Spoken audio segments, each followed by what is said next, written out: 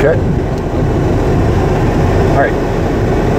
Okay, well, this is, we're sitting in the uh, top of the line, uh, 250 um, Platinum Super Duty 4x4, 6.7 diesel, uh, 925 uh, foot-pounds of torque, 440 horsepower.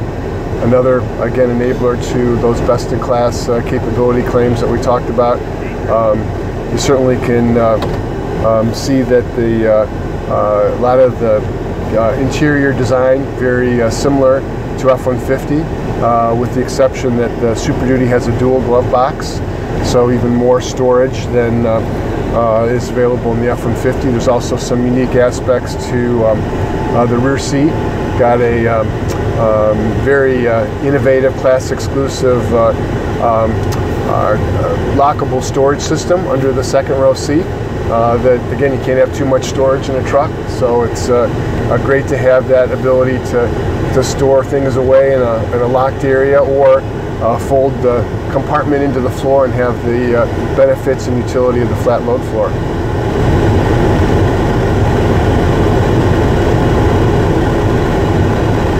I had a chance to try it out up in, at uh, Ford Trentons, Okay. and uh, was it? It was a Super Duty that they were doing the. Um, uh, the steering uh, comparison, right? Exactly, yep.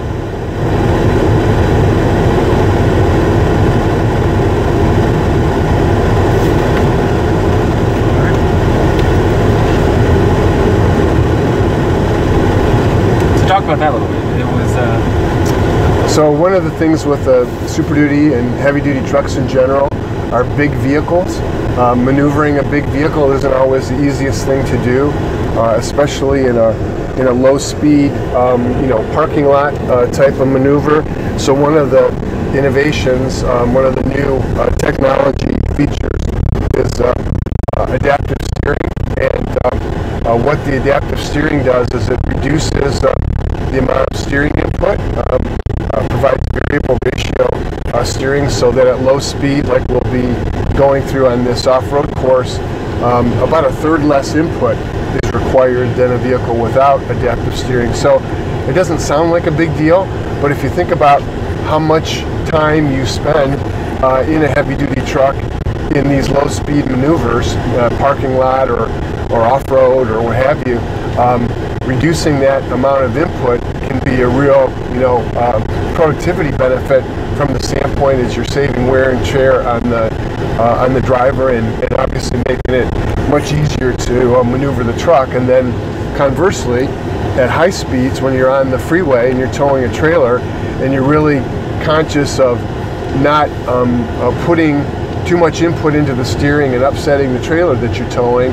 um, with the uh, adaptive steering it does just the opposite at high speed and it um, compensates so that any you know little move of the steering wheel isn't going to uh, cause the vehicle to change direction and upset the uh, the trailer. So again benefits you both um, at low speed and, and high speed. And in fact it's been really one of the surprise and delight features that uh, uh, we've seen thus far with uh, the training that we've been doing for the 2017 Super Duty. We've had 10,000 sales consultants and fleets Wow. in the truck, and one of the most commonly uh, uh, talked about features has been the uh, adaptive steering and just what a what a benefit it is. Is there anything like that in the? I mean, like basically the demo that we had was we went out on this really curvy course, hmm and I think I pulled like a 12, 12 rotations of the steering Yep. wheel on the course. Right. Super Duty.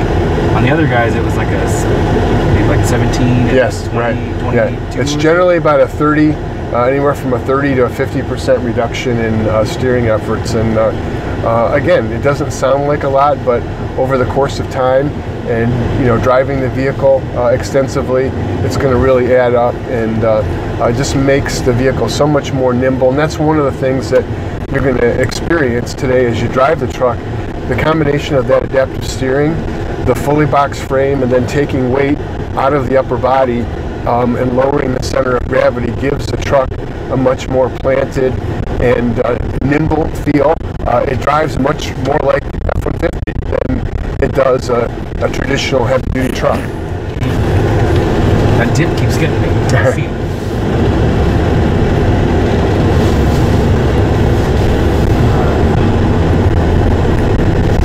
So tell me about some of your, your personal history with, with Super Duty. Well, uh, You've been around for a while. yeah, I've been with Ford for uh, going on 38 and a half years. Um, I've been the truck group marketing manager for Ford uh, for the, this is my 15th year.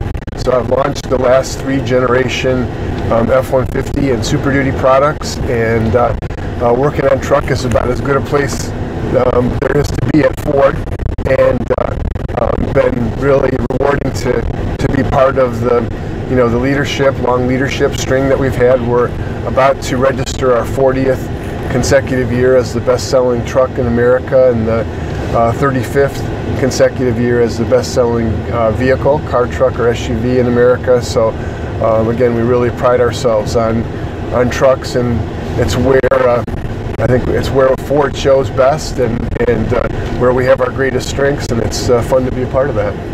What, what do you attribute that to? All the uh, all those accolades. Well, uh, there's a number of things. Uh, first of all, I think at the root of it is um, having the best insight, best customer insight in the industry.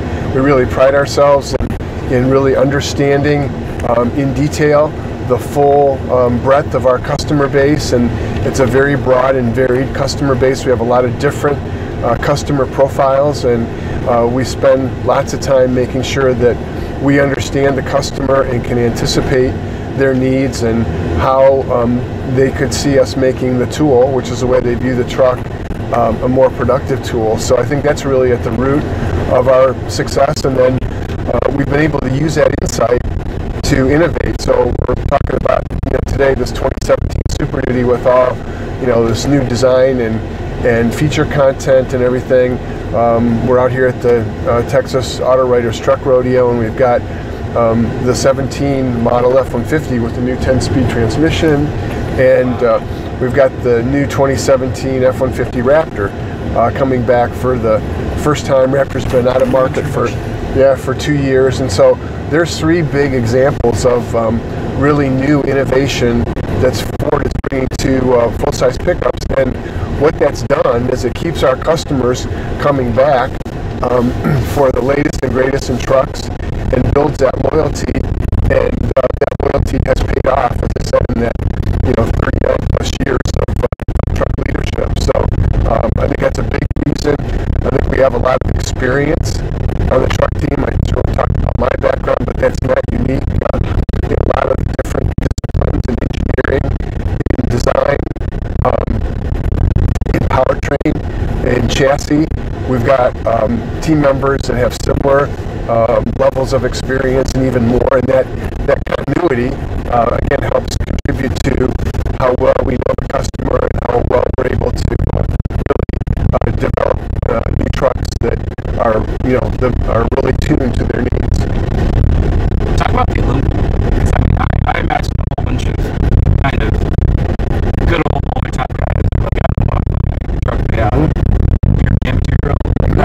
Does that you? So we did, you know, we introduced the uh, first um, military, high strength military grade aluminum alloy body in the 2015 F-150. Well, we actually, some of us actually started working on that program back in 2008, and we revealed the truck for the first time in 2014, January of 2014, and uh, um, so it was long in the making. And one of the work streams that we undertook before um, we decision to go that route was how customers respond to the material. And what we learned in all of our customer interactions was that the majority of our customers um, already had exposure to aluminum and aluminum's um, uh, value or aluminum's benefit in terms of not just lightweight but high strength. And if you think about it, there's a lot of applications, whether it's in you know things like uh, wheels,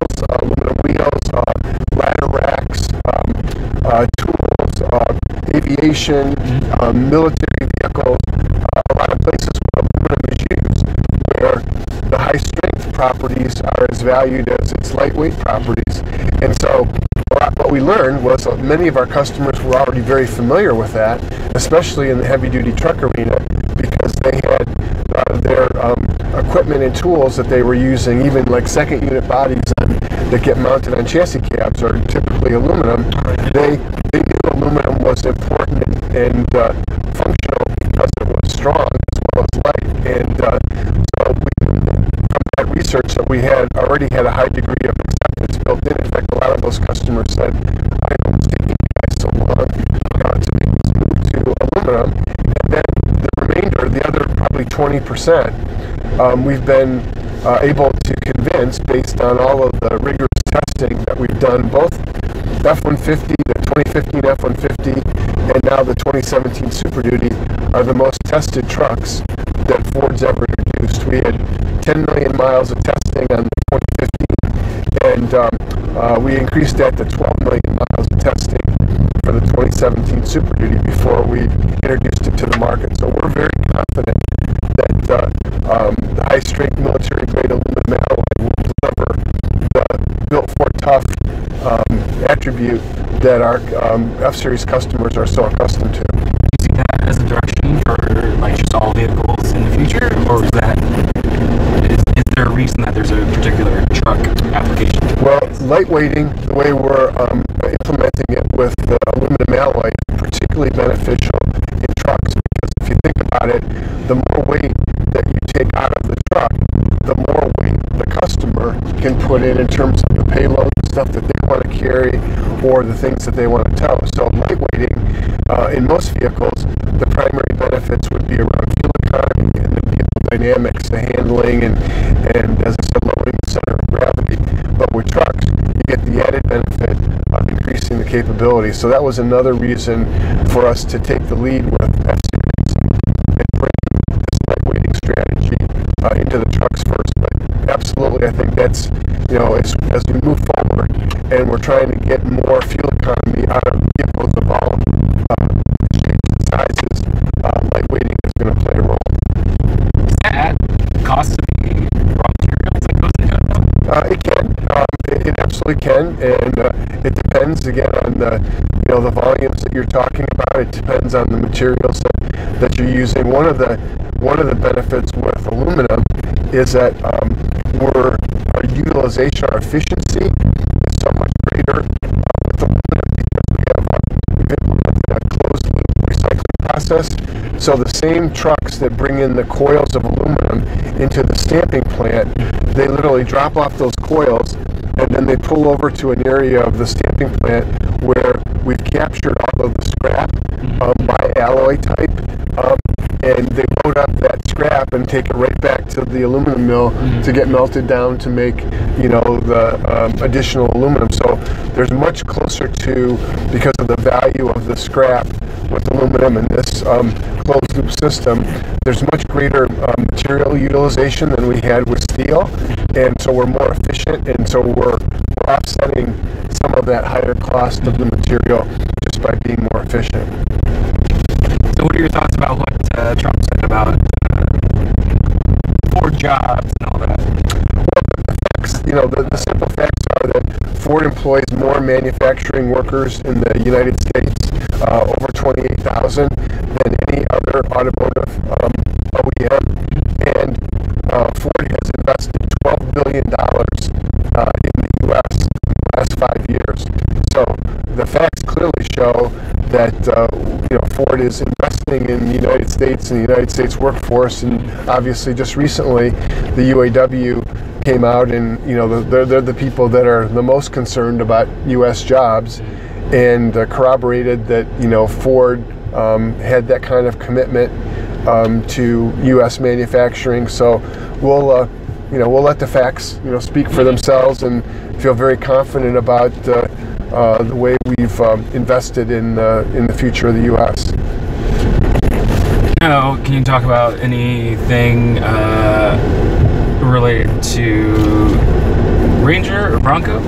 Uh, just stay tuned. You know, we don't uh, no, no specific comments on on future product. You just have to stay tuned for for more news. Uh, as I said earlier, the uh, the one thing that's clear in the truck space, no one has been more aggressive uh, in terms of their product cadence and bringing, you know, new innovation uh, to the market than Ford. And uh, that's just been unquestioned here for a number of years. And I can tell you that our um, product cadence plans uh, going forward on the truck side are, um, you know, even more aggressive. So um, we'll have we'll have lots to talk about and, and lots of things for your customers and your dealers to get excited about. So back to the Super Duty. Are these already at all the dealerships now? Yes, yeah. We, September was our first full month of sales. Uh, we're off to a great start. Um, we had expected to sell a thousand of the 2017s in September, and we actually sold 4,000. So Oh, wow. we're very pleased with the start. A lot of uh, anticipation. We, we had first revealed the truck a little over a year ago at the um, State Fair of Texas, and so a lot of people had been anxiously awaiting uh, its arrival. So we're uh, Yeah, I saw one guy online that had just bought a Super Duty, I think a year ago or a couple years ago, Mm-hmm. and he was posting it on, I want to say Craigslist or something. uh-huh, uh-huh. So there's absolutely nothing wrong with it. Yeah. I just want to get a new Yeah, one. yeah. So- So there's a lot of excitement about that. Again, you can imagine the first all-new Super Duty from the ground up in, since 1999. Um, much, much interest in, uh, uh, in all this uh, new technology and you know uh, fully boxed frame and the new material and, and all the capability um, aspects of the truck. So this was the Platinum? This is a platinum. And Yep. what other trim levels? So platinum is the top of the line, and below that is Lariat, uh, then XLT, um, then uh, STX for 2017, and XL. Is uh, King Ranch on the level of Platinum, or is that kind of... Uh, King Ranch and Platinum are basically the same level. They're just different choices. Uh, King Ranch is for that customer looking for um, uh, ranch luxury as opposed to more urban luxury with the Platinum model. no, one word this I'm time? not tall enough for the outside that and this truck. Thanks. You are.